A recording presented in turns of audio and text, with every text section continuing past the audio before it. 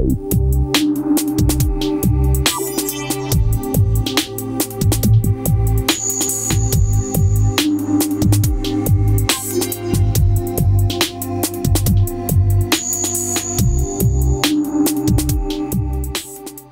jako máme tady na fakultách výzkumná centra, například na naší fakultě Netmí centrum, na fakultě stavební ADMAS a tak dále.